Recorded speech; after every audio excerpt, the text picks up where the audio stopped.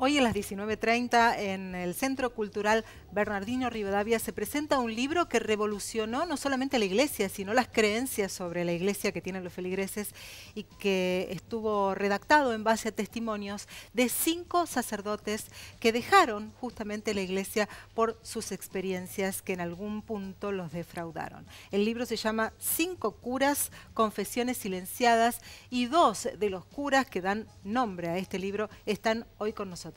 Gracias por venir. Se trata de Lucio Olmos, ex sacerdote, y Adrián Vitali, también ex sacerdote. Lucio, usted es de Córdoba, de provincia de Córdoba. De provincia de Córdoba, sí. Nada más que estoy viviendo hoy en la capital, pero yo nací en Pueblo de La Para, departamento Río Primero.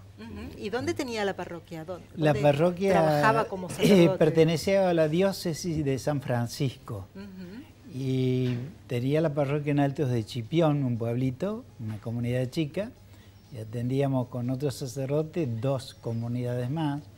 Y bueno, después este, todo aquello del Concilio Vaticano II, de que se hacía una renovación, ¿no es cierto?, donde se planteaba que los sacerdotes, por esa parte, si podían convivir juntos, dos o tres, para hacer un trabajo conjunto un mismo alineamiento, digamos, de la palabra, todas esas cosas.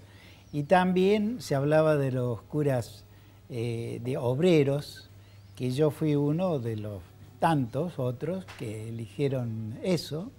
Y bueno, como no estar cerca de los trabajadores. Precisamente, no solamente trabajando igual, paralelamente con respecto al obrero, para contactarme más y conocer más la realidad de lo que un hombre que eligió la disciplina del sacerdocio, pudiera transmitir luego la experiencia vivida con mucha más realidad. Aparte, Lucio, usted lo que no quería es sostener este sistema de financiamiento de los sacerdotes de lo que son cobrar los bautismos, lo que ingresa a la parroquia, usted se oponía un poco a esa metodología. Precisamente por esa causa este, elegí eso, ¿no es cierto?, como un cura obrero independiente de no vivir de toda la parte sacramental, sino vivir con mi trabajo, porque también es otra de las cosas que no sé si cabe, pero creo que sí, decir que la mayoría de la gente cree que el sacerdote que cobra porque por lo, tiene la jubilación. No,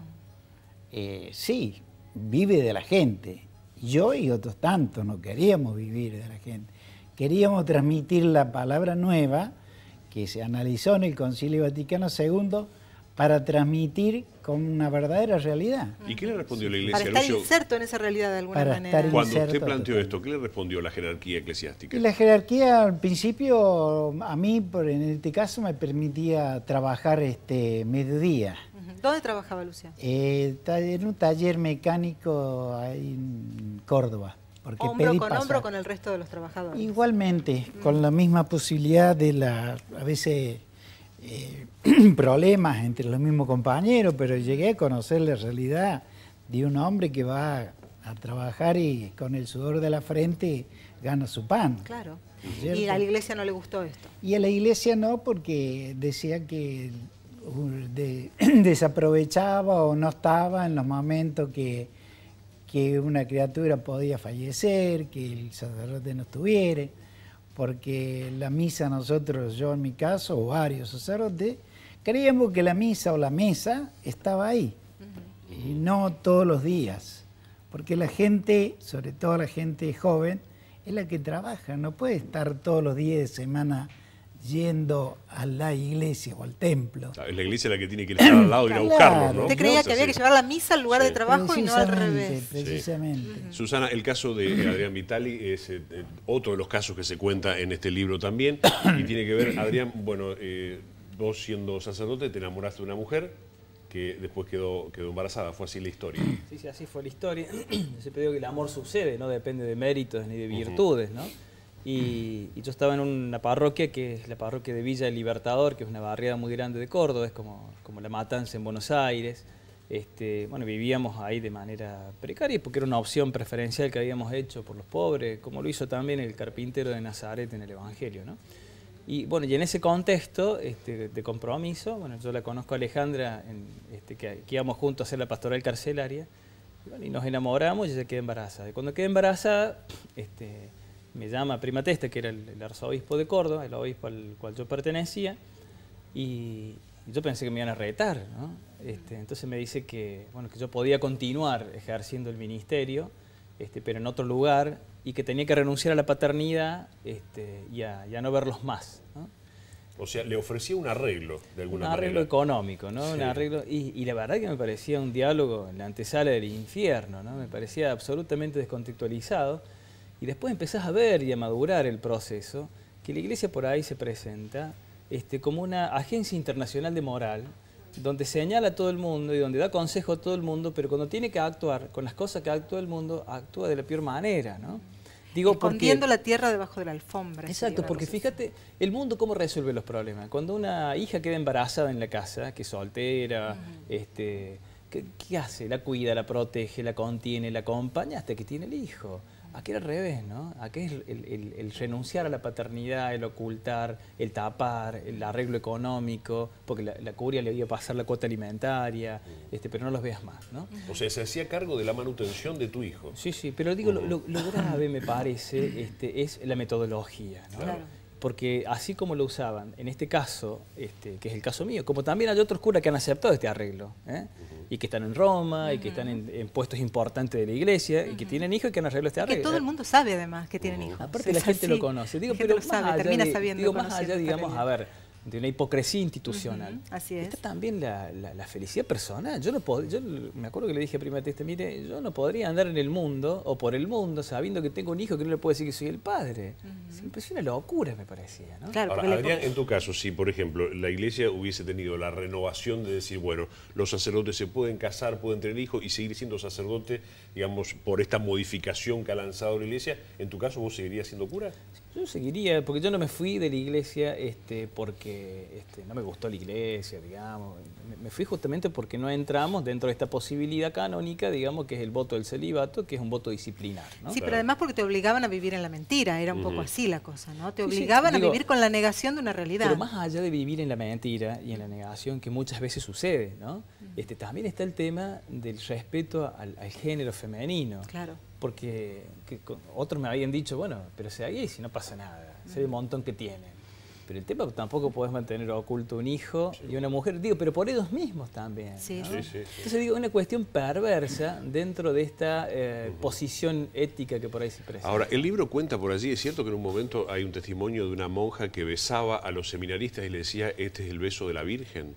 Digamos, digo, hablando de las hipocresías e, también. E, eso lo plantea otro compañero que es Horacio. Este, que en realidad, bueno, fíjate el tema de eh, cuando vos intentas este, por decreto o por un voto anular la sexualidad, que en realidad eso no funciona porque la sexualidad sigue funcionando. La biología sigue, en el varón sigue generando semen y en la mujer sigue generando, sigue ovulando, por más que sea monje hecho el voto. En el caso tuyo y en el caso de la monja tiene que ver con esto, con el celibato y con la negación de la sexualidad, pero en el caso de Lucio tiene que ver también con una cuestión ideológica muy fuerte de la iglesia que se contraponía con lo que usted creía que era necesario para un sacerdote, estar cerca de los pobres y en algunos casos de los revolucionarios, como ocurrió en la década del 70. Sí, precisamente como decía, todo eso se fue analizando en el Concilio Vaticano II, que fue, a mí me tocó, como a otro de los compañeros que está en el libro, que es mayor que yo, nos tocó vivir el renacimiento de lo que creíamos una apertura en la Iglesia Católica y, los tocó vivir estudiando.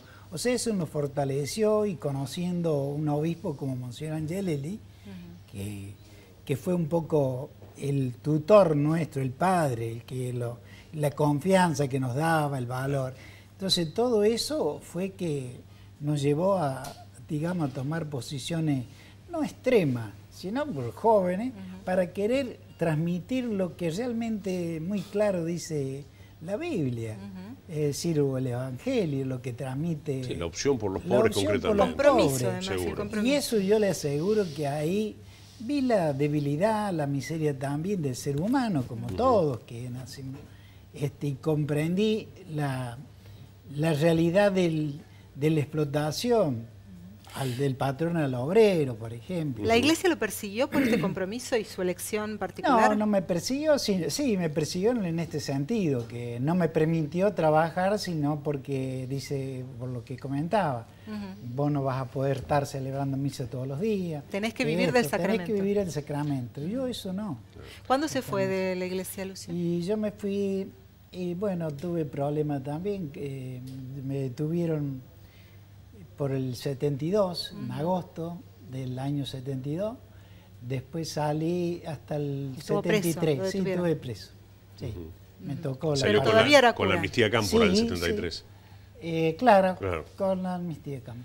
Ahora, este, eh, este libro, eh, digamos, ¿no? También rompe un poco, porque allí se habla como de una humertad, ¿no? De que hay un pacto de silencio que equipara en algunos sectores a la, a la iglesia con una corporación donde, eh, donde el silencio reina y ahí está la especie. La, la, idea de ustedes con este libro fue un poco quebrar eso, romper y por eso darlo a conocer a la población. Más que esa idea, el, el, libro testimonia que este, uno es capaz de recuperar la libertad, porque las instituciones estas verticalistas, este, monopólicas como, o, digamos medievales como la de la iglesia, piensa que cuando vos entras a la institución, vos renuncias a la sexualidad, a, la, a tu conciencia, a tu libertad y esa historia pasa a ser historia de la institución. Entonces vos no podés hablar. Es muy difícil hablar. Hay muchos que salen y no pueden desprenderse o hablar sobre la iglesia. Nosotros testimoniamos con esto que hemos recuperado nuestra libertad, nuestra historia, nuestra sexualidad, nuestra antropología, y somos capaces de decir estas cosas.